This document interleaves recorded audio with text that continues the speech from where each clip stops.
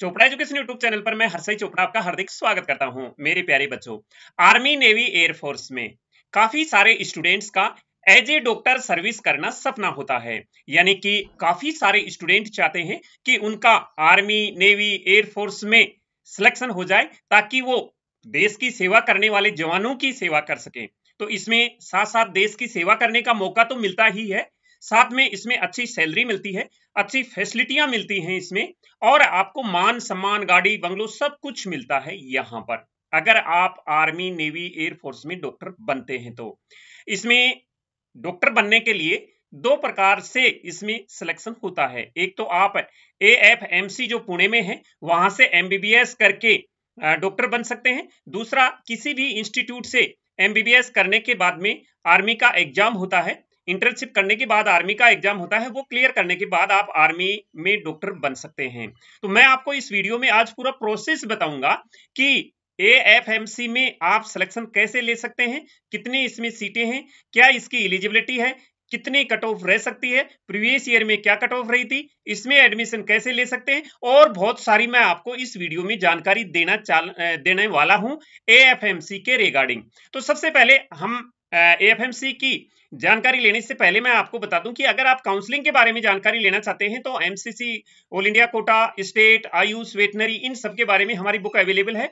और इसमें जो फैसिलिटी है, उसमें all India quota, AIIMS, JIPMER F M C D U I P internal central university E S I C deemed, central pool quota, इन सब के बारे में इंफॉर्मेशन दी गई है। इनमें च्वाइस लिस्ट दी गई है 2024 के लिए आपको कैसे च्वाइस फिल करनी है। Round wise category wise college wise cut off दी गई है, जिससे आप आइडिया लगा सकते हैं कि आपकी रैंक पे पिछले ईयर्स में कौन सी रैंक पर कौन सा कॉलेज मिला था, वो आपको मिलने की पॉसिबिलिटी है इस बार।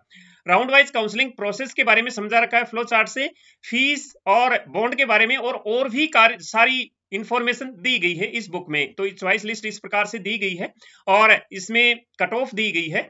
एम्स जिपमर के बारे में सेंट्रल पूल कोटा के बारे में काउंसलिंग प्रोसेस के बारे में, ऐसे ही स्टेट की बुक में, हर एक स्टेट के बारे में इंफॉर्मेशन दी गई है। कट ऑफ़ वगैरह की डॉक्यूमेंट्स रिक्वायर्ड की हर एक स्टेट का काउंसलिंग प्रोसेस के बारे में यहाँ समझाया गया है। ऐसे ही आयुष वेटनरी की बुक में भी ये सारी फैसिलिटी अवेलेबल है। इस वीडियो के डिस्क्रिप्शन बॉक्स में आप मोर पर क्लिक करेंगे डिस्क्रिप्शन बॉक्स में बुक्स का लिंक दिया गया है। वहाँ से आप डाउनलोड कर सकते हैं या फिर हमारी वेबसाइट डब्ल्यू से भी इनको डाउनलोड कर सकते हैं आप। अब बात करते हैं एएफएमसी के बारे में। इसमें आपको एडमिशन कैसे लेना है, क्या कट ऑफ़ रहेगी और क्या एडमिशन का प्रोसेस है। तो एएफएमसी ने अपना इंफॉर्मेशन बुलेटिन 2024 के लिए जारी कर दिया है और सारी कंडीशनें उसमें दे दी है। मैं आपको इंफॉर्मेशन बुलेटिन के मुताबिक यहाँ सब कुछ समझा देता हूँ और अलग से भी इंफॉर्मेशन आपको दे देता हूँ। तो ए पर जैसे ही आप विज़िट करोगे एडमिशन सेक्शन के ड्रॉप डाउन पर आप क्लिक करेंगे तो इन्फॉर्मेशन ब्रोचर 2024 पर क्लिक करेंगे तो 2024 का इंफॉर्मेशन बुलेटिन डाउनलोड हो जाएगा। तो इसमें सबसे पहले हम देखते हैं इसकी जानकारी एएफएमसी की। तो armed forces medical college college इसका नाम है और ये पुणे, महाराष्ट्र के पुणे में सिचुएटेड है। ये 1948 में इसमें पीजी कोर्स स्टार्ट हुए थे और 4 अगस्त उन्नीस सौ बासठ से इसमें एमबीबीएस कोर्स रन हो रहा है। ये Maharashtra university of health sciences Nashik से एफिलिएटेड है। बाकी कॉलेजों की तरह इसमें साढ़े साल का कोर्स होता है और एक साल की इंटर्नशिप होती है इसमें। अब हम इसमें आगे देखते हैं कि कंडीशन क्या है? इसकी इलिजिबिलिटी क्या है? तो सबसे पहले सिटीजन ऑफ़ इंडिया होना चाहिए। इसमें पाँच सीटें गवर्नमेंट स्पॉन्सर्ड कैंडिडेट्स की होती हैं, जो फ्रेंडली फॉरेन कंट्रीज़ हैं। उनके कैंडिडेट्स के लिए पाँच सीटें हैं। तो जो फॉरेन नेशनल के इंडियन कैंडिडेट्स हैं, उनके लिए भी ये पाँच सीटें हैं। और जो मिनिस्ट्री ऑफ़ होम अफेयर्स द्वारा नॉमिनेटेड कैंडिडेट होते हैं, वो भी इन सीट्स पर एडमिशन ले सकते हैं, पाँच सीट पर। तो इसमें इंडियन सिटीजन होना चाहिए और इसमें अनमेरिड होना चाहिए और कोर्स के दौरान शादी नहीं कर सकते कैंडिडेट्स इसमें एज के लिए कंडीशन मिनिमम एज 17 ईयर्स है मैक्सिमम एज है, वो 24 ईयर्स है।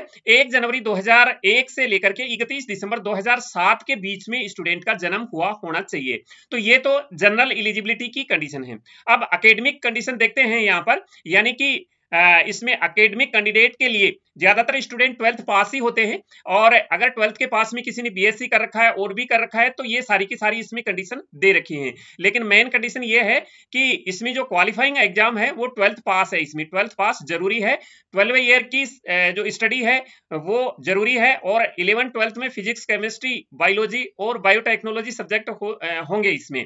अब इसमें फ़र्स्ट अटेम्प्ट में ही क्वालिफाइंग एग्ज़ाम क्लियर होना चाहिए। यानी कि आप ट्वेल्थ क्लास एक ही बार में पास हुए होने चाहिए। ऐसा नहीं है कि आपने एक बार सप्लीमेंट्री आ गई या फेल हो गए और दूसरी बार ट्वेल्थ का एग्ज़ाम दिया है तो वो कैंडिडेट इसके लिए इलिजिबल है नहीं है। यानी कि एक ही बार में आपने ट्वेल्थ क्लास पास की हो।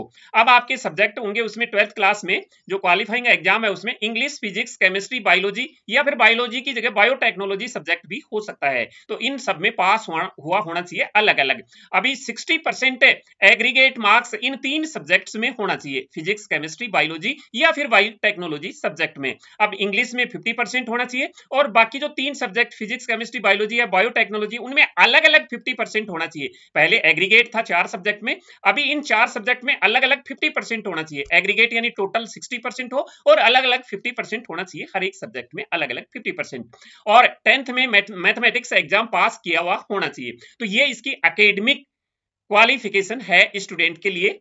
ऐसे अकेडमिक क्वालिफिकेशन होनी चाहिए इसमें। अब इसमें कौन कौन से कैंडिडेट इलिजिबल नहीं हैं? जिन कैंडिडेट ने एग्ज़ाम पास कर रखी है, डोमेस्टिक साइंस से, डोमेस्टिक अर्थमेटिक, लोअर मैथ, इनसे अगर पास कर रखी है तो वो इसके लिए इलिजिबल नहीं है। इसमें general science, social study, higher secondary या ट्वेल्थ में उनके सब्जेक्ट रहे हों, वो इसके लिए इलिजिबल नहीं है। जिन कैंडिडेट ने एक साल का प्री यूनिवर्सिटी एग्ज़ाम पास कर रखा है, एग्रीकल्चर, वेटनरी, डेंटल एग्जामिनेशन एक साल का पास कर रखा है, वो भी कैंडिडेट इसके लिए इलिजिबल नहीं है। यानी कि ट्वेल्थ में अगर फिजिक्स, केमिस्ट्री, बायोलॉजी या बायोटेक्नोलॉजी से पास है, वो सारी कंडीशनें रखते हैं, उसके बाद तो एक साल का कोर्स किया, वो कोई दिक्कत नहीं है। लेकिन इनसे पास ही नहीं है, वो इस बेस पर एडमिशन लेना चाहते हैं, एक साल की प्री यूनिवर्सिटी एग्ज़ाम के बेस पर, जिसमें एग्रीकल्चर से किया उन्होंने वेटनरी से किया हो या डेंटल एग्ज़ाम से किया हो तो वो इसके लिए इलिजिबल नहीं है यहाँ पर।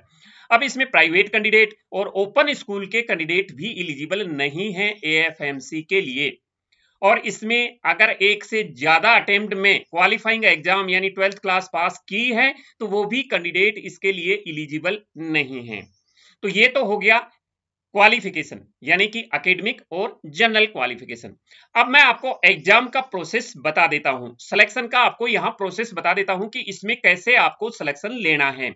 तो जैसे ही एमसीसी के फॉर्म स्टार्ट हो जाते हैं एमसीसी के रजिस्ट्रेशन स्टार्ट हो जाते हैं, आपको एमसीसी डॉट निक डॉट इनकी वेबसाइट पर रजिस्ट्रेशन करना है एएफएमसी के लिए।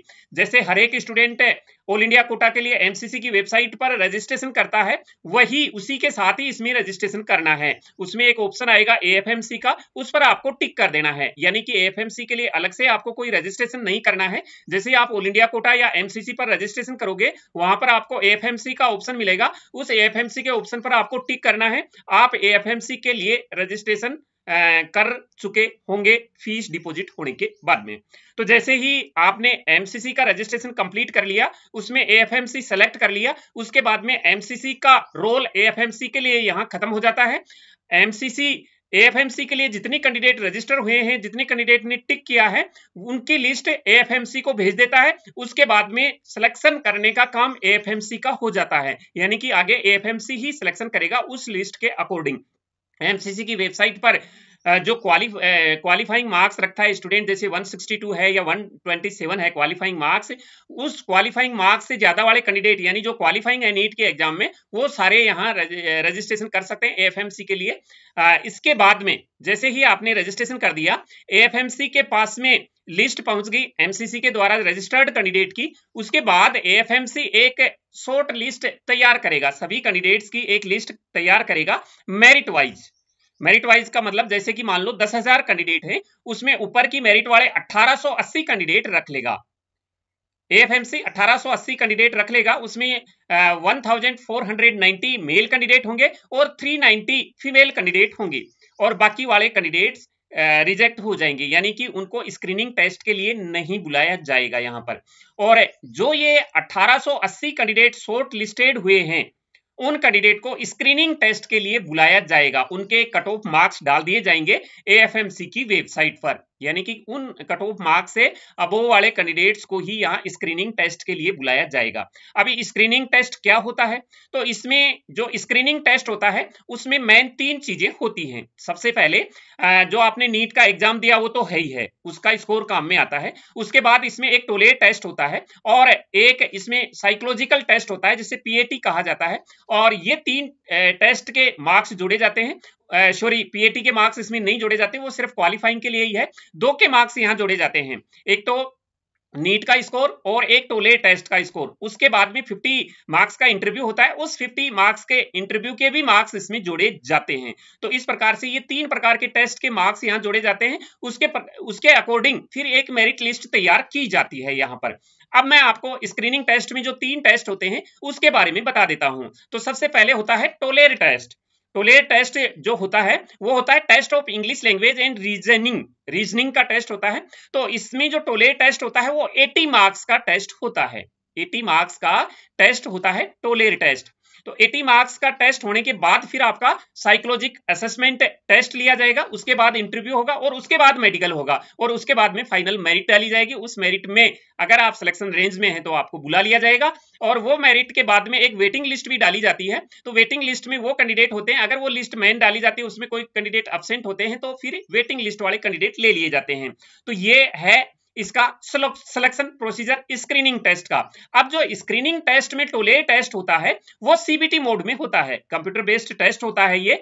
40 इसमें एमसीक्यूज आते हैं। हर एक एमसीक्यूज टू मार्क्स का होता है इसमें। यानी कि ये टोटल 80 मार्क्स का एग्ज़ाम हो गया और ये एफएमसी पुणे में लिया जाता है ये एग्ज़ाम और इसमें नेगेटिव मार्किंग भी है। अगर आप एक क्वेश्चन इनकरेक्ट करते हैं तो आपका एक मार्क्स कट जाएगा। यानी कि एक मार्क्स सही करते हैं, एक क्वेश्चन सही करते हैं तो दो मार्क्स मिलेंगे। अगर एक क्वेश्चन गलत करते हैं तो एक मार्क्स कट जाएगा। यानी कि पॉइंट फाइव इसमें नेगेटिव मार्किंग है यहाँ पर। ये जो फोर्टी क्वेश्चन है, आपको थर्टी मिनट का टाइम दिया जाएगा सॉल्व करने के लिए। तो ये इस प्रकार से जो मार्क्स आप टोले टेस्ट में ऑप्टेन करते हैं, वो नीट के स्कोर में ऐड कर दिए जाएँगे तो आपकी रिटर्न एग्ज़ाम के फाइनल मार्क्स हो जाएँगे और उसके बाद में इसमें इंटरव्यू के मार्क्स जोड़ करके मेरिट निकाल दी जाएगी।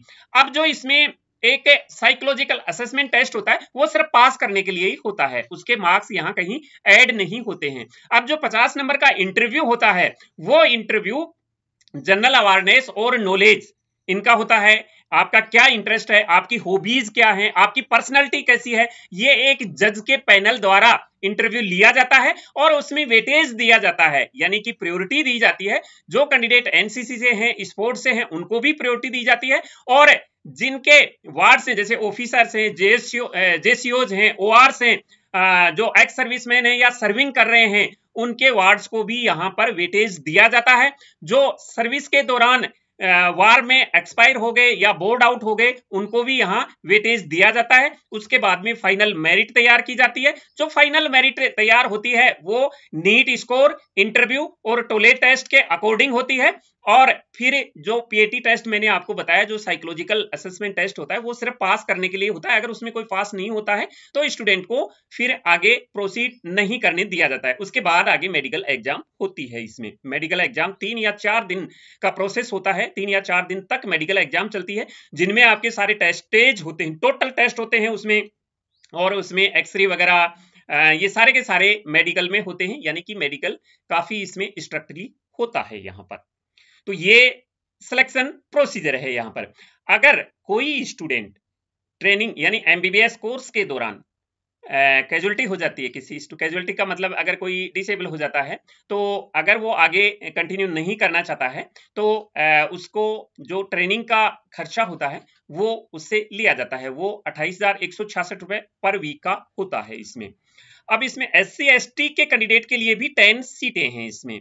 इसमें टोटल 145 सीट्स हैं इसमें, जिसमें 115 सीट्स हैं वो मेल कैंडिडेट के लिए हैं और 30 सीट्स हैं वो फीमेल कैंडिडेट हैं के लिए हैं। मैंने बताया पाँच सीट स्पॉन्सर्ड कैंडिडेट के लिए हैं जो गवर्नमेंट ऑफ़ इंडिया द्वारा नॉमिनेट किए जाते हैं इसमें। अब इसमें फैसिलिटियाँ बहुत कुछ हैं। फैसिलिटियाँ एमबीबीएस के दौरान भी हैं और एमबीबीएस के बाद जब आप सर्विस करते हैं कमीशनड ऑफिसर के तौर पर, तब भी तो फैसिलिटियों की कमी नहीं रहती है यहाँ पर। एमबीबीएस के दौरान हॉस्टल फैसिलिटी है, एक ए वन हॉस्टल है यहाँ पर, और गर्ल्स और बॉयज़ के लिए अलग अलग हॉस्टल हैं। मैथ्स की फैसिलिटी बहुत ही अच्छी है यहाँ पर। इसके बाद आपको यहाँ पर स्टाई फंड भी मिलता है, ये एमबीबीएस के दौरान भी मिलता है, और इंटर्नशिप के दौरान तो काफ़ी ज़्यादा मिलता है इसमें। अब एमबीबीएस के दौरान आपको जो हॉस्टल है, वो फ्री है, मैस है, वो फ्री है राशन उसमें इसके बाद में आपको AC three tier railway warrant दिया जाएगा, यानी कि आप दो वैकेशन मिलते हैं इसमें, दोनों में आप घर आओगे तो आपको एसी थ्री टायर का वारंट दिया जाएगा। और अगर जब आप कमीशनड बन जाते हैं तो एसी टू टायर का वारंट आपको लागू हो जाता है। इसके बाद बुक इक्विपमेंट अलाउंस मिलता है आपको six thousand per medical per year per medical cadet को पर ईयर मिलता है। बुक परचेज करने के लिए stationery allowance one thousand six hundred eighty rupees मिलता है। Uniform allowance six thousand rupees मिलता है। हेयर कटिंग का भी अलाउंस मिलता है। Two hundred ten rupees washing allowance मिलता है एट हंड्रेड फोर्टी रुपीज़ यहाँ एक इंश्योरेंस की स्कीम भी है। एक कैंडिडेट के सेवन थाउज़ेंड टू हंड्रेड रुपए डिपोजिट होते हैं। अगर कोई कैजुअलिटी हो जाती है तो उसमें फिफ्टीन लाख रुपए डेथ के कंडीशन में मिलते हैं और इसमें थ्री लाख रुपए मिलते हैं। इसमें ट्वेंटी परसेंट अगर डिसेबिलिटी हो जाती है तो इसमें। तो ये इसमें ग्रुप इंश्योरेंस स्कीम भी है इसमें। डिसिप्लिन डिसिप्लिन इसमें ए वन का होता है। यानी कि जो आलसी स्टूडेंट है वो ए एफ़ एम सी के लायक नहीं है। अगर आलसी स्टूडेंट एएफएमसी में पहुँच जाता है तो उसको भी ये एएफएमसी एक सोलिड सोल्जर बना के छोड़ देता है। यानी कि सोलिड सोल्जर बना के रख देता है। कहने का मतलब आपको सुबह समय से उठना पड़ेगा, अपनी दैनिक दिनचर्या करने के बाद आपको पीटी वगैरह में जाना है, परेड वगैरह भी होती है, इसमें मंडे वगैरह को, और इसके बाद में ब्रेकफास्ट के लिए एक स्टैंडर्ड होता है उसमें ड्रेस आपको मैथ्स के लिए एक स्टैंडर्ड से पहननी है। इसमें बीच बीच में और भी काफ़ी सारे प्रोग्राम्स होते हैं और काफ़ी सारे, यानी कि आपको ड्रेस यहाँ ही इश्यू कर दी जाती है फौज के लिए। तो उस समय आपको एक ऐसा लगता है, एक गर्व महसूस होता है तो आलसी आदमी की यहाँ कोई जगह नहीं है। अब इसमें छुट्टी साल में दो बार मिलती है दो तीन वीक का। समर वेकेशन में मई जून में आपको लीव मिलेगी, घर जाएँगे विंटर में दो थ्री वीक की। दिसंबर, जनवरी में इसमें लीव मिलती है तो आप घर जा सकते हैं।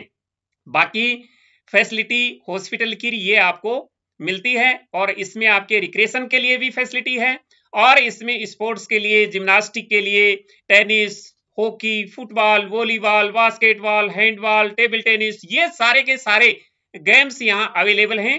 हर एक स्टूडेंट को इनमें प्रेजेंट होना ज़रूरी होता है। तो ये एक्टिविटीज़ करनी होती हैं यहाँ पर।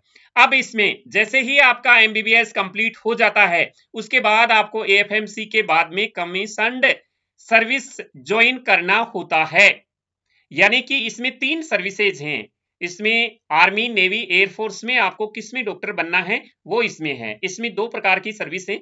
एसएससी है इसमें और एक पीसी है। यानी कि शॉर्ट सर्विस कमीशन। 50 परसेंट सीटें इसमें 50 परसेंट कैंडिडेट को लिया जाता है 50 परसेंट सीट पर मेरिट के अकॉर्डिंग और स्टूडेंट की चॉइस के अकॉर्डिंग और फिर दूसरा है, वो पीसी है परमानेंट कमीशन है। तो इन दोनों पर स्टूडेंट को मार्क्स के अकॉर्डिंग अपॉइंट किया जाता है। कैडिट कैडेट के तौर पर छप्पन हज़ार सौ रुपए सैलरी मिलती है यहाँ पर पर month lieutenant 61,300 captain 69,400 major 1 lakh 21,200 lieutenant colonel 1 lakh 30,600 colonel 1 lakh three nine thousand six hundred brigadier one lakh forty four thousand two hundred और आगे मेजर जनरल वगैरह प्रमोशन होते रहते हैं टाइम टू टाइम अब इसमें एक कंडीशन ये है कि इसमें आपको 60 डेज़ की लीव मिलेगी। जैसे ही आप सर्विस कर रहे हैं आर्मी नेवी एयरफोर्स में 60 डेज़ की आपको ईएल अर्नड लीव बोलते हैं उसको, और 30 डेज़ का कैजुअल लीव यानी कि सीएल मिलता है यहाँ पर। बाकी सारी फैसिलिटी यहाँ पर फ्री मेडिकल सर्विसेज़ आपके लिए, आपकी फैमिली के लिए सीएसडी कैंटीन अवेलेबल है। यहाँ ग्रुप पॉलिसी ग्रुप इंश्योरेंस भी 75 लाख का अवेलेबल है। घर आते जाते आपको रेलवे वारंट मिलेगा, यानी कि अगर आप रेलवे का वारंट नहीं लेते हैं तो आजकल तो एलटीसी मिल रही है, यानी कि लीव ट्रेवल कंसेशन आपको मिलता है अपने जेब से पे करते हैं तो बाद में आपको मिल जाता है ये। अब यहाँ पर आप एमबीबीएस अगर आपने किया है और आपने ड्यूटी ज्वाइन कर ली, मैंने दो तरीके बताई आपको। एक तरीका आप एएफएमसी से एमबीबीएस करके ड्यूटी ज्वाइन कर सकते हैं। दूसरा एमबीबीएस किसी भी कॉलेज से करने के बाद में आर्मी से वैकेंसी निकलती है, उसमें ज्वाइन करके भी आर्मी में डॉक्टर बन सकते हैं आप। जैसे आर्मी में आप डॉक्टर बन गए, उसके बाद में आपको चार साल सर्विस करनी है। चार साल की सर्विस के बाद में आप पीजी का एग्ज़ाम दे सकते हैं। पीजी का जो एग्ज़ाम होता है, वो एग्ज़ाम एनबीई द्वारा लिया जाता है पीजी का एग्ज़ाम और इसमें जो एएफएमसी में पीजी की सीटें हैं, वो 400 पीजी की सीट है, जिसमें 40 सुपर स्पेशलिटी कोर्स के लिए हैं हर साल के लिए। इसमें अगर इनमें एएफएमसी में भी स्टूडेंट का सिलेक्शन नहीं होता है तो वो अदर मेडिकल कॉलेज में भी पीजी कर सकता है चार साल के बाद में और वो एब्रोड से भी कर सकता है, वो इसकी इच्छा है बाद में। लेकिन जो परमानेंट कमीशन है, उनको फुल लीव भी दी जाती है यहाँ पर। स्टडी लीव भी मिलती है यहाँ पर। अब इसमें मेडिकल एग्ज़ाम होता है, जो मैंने आपको बताया, ये सारा होने के बाद में लास्ट में मेडिकल एग्ज़ाम होता है, तीन चार दिन तक होता है ये एग्ज़ाम, और इसमें सब कुछ देखा जाता है। इनमें आपको फिट होना चाहिए, मेल कैंडिडेट के लिए 157 हाइट होनी चाहिए, फीमेल कैंडिडेट के लिए 152 होनी चाहिए वेट होना चाहिए, इसके अकॉर्डिंग, हाइट के अकॉर्डिंग वेट होना चाहिए। तो ये सारी की सारी विजुअल स्टैंडर्ड्स कितना है, कलर विजन, सारा का सारा ये आपका मेडिकल किया जाता है और मेडिकल में आप फिट हो गए मेरिट में आ गए तो आपको फिर कॉल लेटर दे दिया जाता है। आप ज्वाइन करें। जो स्टूडेंट ज्वाइन नहीं करते हैं, वो उनकी जगह फिर वेटिंग लिस्ट वाले कैंडिडेट आ जाते हैं यहाँ पर। अब प्रीवियस ईयर की मैं आपको कट ऑफ़ बता देता हूँ। देखो यहाँ बॉयज़ की गर्ल्स की अलग अलग कट ऑफ़ होती है। बॉयज़ की कट ऑफ़ डाउन जाती है। गर्ल्स की कट ऑफ़ बहुत हाई जाती है क्योंकि गर्ल्स की सीटें ही थर्टी है। अब 2020 में देखें तो बॉयज़ की 618 कट ऑफ़ रही थी। और गर्ल्स की 637 कट ऑफ़ रही थी। ये कट ऑफ़ किसके लिए रही थी? ये कट ऑफ़ स्क्रीनिंग टेस्ट के लिए रहती है। यानी कि एमसीसी पर आपने अप्लाई कर दिया, उसके बाद आपकी जो लिस्ट है वो पहुँच गई एफएमसी के पास। एफएमसी 1880 स्टूडेंट उसमें सॉर्ट आउट करेगा और वो 1880 कैंडिडेट जिस मार्क्स पर आता है लास्ट कैंडिडेट वो उसकी कट ऑफ़ हो गई। तो 2021 में बॉयज़ के लिए 609 थी गर्ल्स के लिए 627 थी। 2022 में बॉयज़ के लिए 616 थी गर्ल्स के लिए 641 थी। 2023 में बॉयज़ के लिए 622 थी और गर्ल्स के लिए 648 थी। हमने तो 2023 में कट ऑफ़ प्रेडिक्ट की थी। वो वीडियो हमारा एएफएमसी का अभी भी पड़ा हुआ है, आप देख सकते हैं। बॉयज़ के लिए हमने 625 कट ऑफ़ पहले ही प्रेडिक्ट कर दी थी। और गर्ल्स के लिए 645 कट ऑफ़ प्रेडिक्ट की थी। वो तकरीबन सेम गई है। यानी कि हमने बॉयज़ के लिए 625 की थी, वो 622 गई है। गर्ल्स के लिए हमने की थी 645 वो 68 गई है। तो यानी कि जो मैंने कट ऑफ़ प्रेडिक्ट की थी एफएमसी के लिए, वो बिल्कुल एक्यूरेट गई है। दो तीन मार्क्स का कोई अंतर नहीं रहता है यहाँ पर। अब 2024 के लिए क्या एक्सपेक्टेड कट ऑफ़ रह सकती है? 1880 कैंडिडेट के लिए तो ये 665 सबसे हाई कट ऑफ़ रहेगी 2024 में इस बार बॉयज़ कैंडिडेट के लिए और गर्ल्स कैंडिडेट के लिए रिकॉर्ड टूट जाएगा 690 का। तो इस बार ये हाई कट ऑफ़ रहेगी यहाँ पर।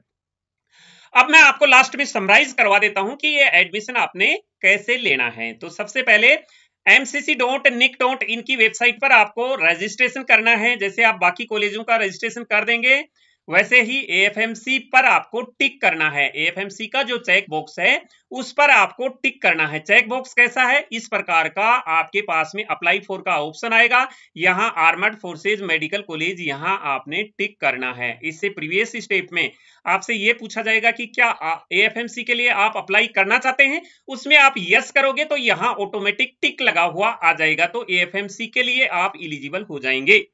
अब जो कट ऑफ़ लिस्ट है एएफएमसी द्वारा तैयार की जाएगी।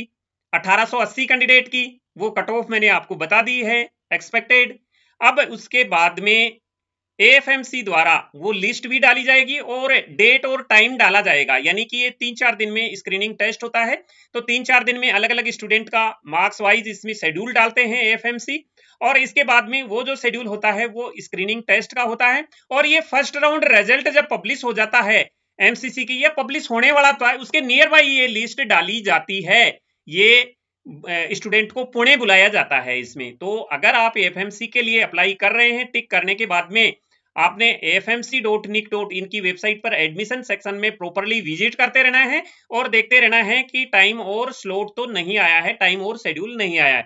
अब उसमें सिलेक्टेड कैंडिडेट की जो स्क्रीनिंग टेस्ट में सिलेक्ट होते हैं, उनकी लिस्ट डाल दी जाती है और वेटिंग लिस्ट भी एएफएमसी की वेबसाइट पर डाल दी जाती है। तो इस प्रकार से आप एएफएमसी में एडमिशन ले सकते हैं। पूरा का पूरा सिलेक्शन प्रोसीजर मैंने बता दिया है। अभी आपको, मैं समझता हूँ, इस वीडियो के अलावा और कोई वीडियो देखने की भी ज़रूरत नहीं पड़ेगी एएफएमसी के लिए।